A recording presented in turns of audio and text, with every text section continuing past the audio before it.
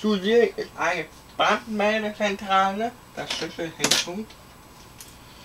Leider habe ich nicht den Feuermelderknopf, da er leider kaputt ist.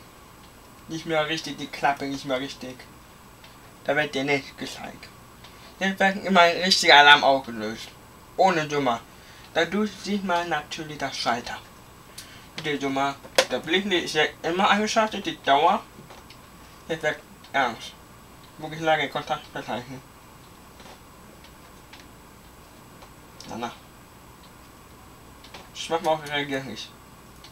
Siehst du? Alarm läuft. Ich schalte die Dummer ein. Es wird auch schon laut sein. Ich weiß nicht genau, wie die Mikrofon reagiert. Und los.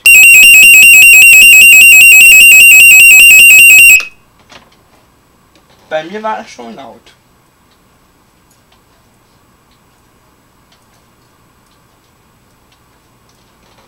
Ich schalte die mein Brandmeldezentrale aus. Also vergessen zu sagen, welche Firma die kommt. Aus Esser. Einmal klicken. Ich schalte mal die Blink. Das heißt natürlich, die hat die Schattensperrung auch geschaltet. So, jetzt blinkt die, wo die Brand, wo es brennt natürlich. Jetzt haben die ja natürlich drei.